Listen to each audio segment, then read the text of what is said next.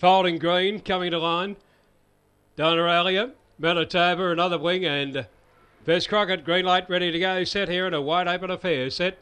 Ready and racing and jumping well there. Dinah went over on the inside, going through on the inside. Dinah Rowley just behind them there came Folding Green as they swing to the back straighter And over on the inside fence there came Verucci, passed down the back. And Dinah went to the leader, led by a length and a half clear of Dinah Rowley. About four lengths away then came Folding Green racing third, followed then by Dinah Carmen over on the inside. Verucci passed. Well back then came Manitoba, followed by another bling. And Tardoff is Fest Crockett in the straight though. And hitting the front is Dinah Rowley. It got clear Dinah Rowley. It'll win by length and after two. Tight second and third. Dinah Carmen on the outside of Folding Green over on the inside. Followed by Verucci Pass and then came another bling. Followed then by Manitoba. And well back to the tail would have been Fest Crockett. And the time for the race reading at around 30 and 36.